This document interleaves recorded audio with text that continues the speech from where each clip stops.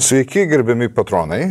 Šiandien mūsų svečiuose yra Rytas Taselis, energetikos ekspertas ir tai yra tavo oficialios pareigos. Taip, Labas. sveiki. Ačiū, kad sutikai pas mus atvykti į mūsų kontroversišką e, dešiniųjų išgamo e, Irštva. irštva. Mes turim labai daug tau klausimų. Klausimai visi yra iš patronų ir klausimai dievaži yra puikus. Kai kurie iš jų gali kartotis, tai mes juos tiesiog realiam laikė skipinsim, pasakysim, kad jau atsakėm ir, ir panašiai, žodžiu, reaguosim pagal situaciją. Tai ir pradedam ir eilės tvarka, kas anksčiausiai uždavė, tas, tas pirmas ir eina. Darius.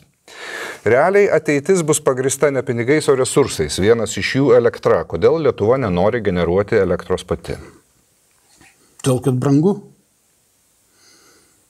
Visa generacija yra brangi.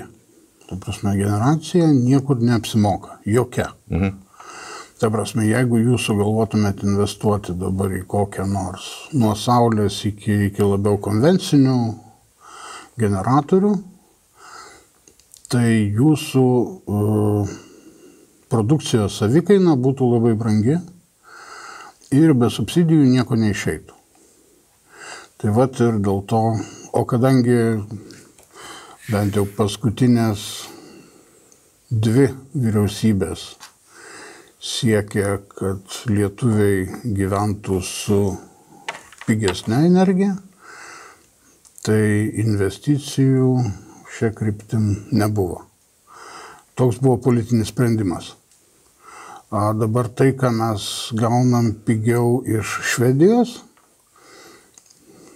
pavasarį iš Latvijos, tai a, dalį tų sąnaudų pa- padengia atitinkamai Švedijos ir Latvijos mokesčių mokėtojai, kurie, kurių pinigai subsidijuojama yra elektros Kodėl, energijos kodėl gamyba. jie tokie geri mums?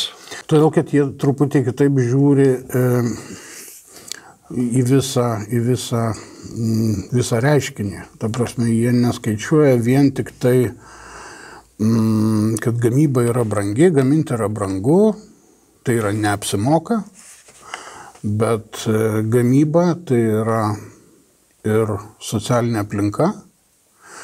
Ir netgi, reiškia, prieš dešimtį metų, ar ne, kada, kada Švedijos vyriausybei lyderystę turėjo socialdemokratai su žaliaisiais, netgi, netgi išpratėję žalieji suprato, kad nereikia taip e, vienu įpū uždaryti jų brandolinių jėgainių, kurios sėkmingai veikia jau, jau gana ilgą laiką. Švedijoje yra branduolinė jėgainė? Taip, taip.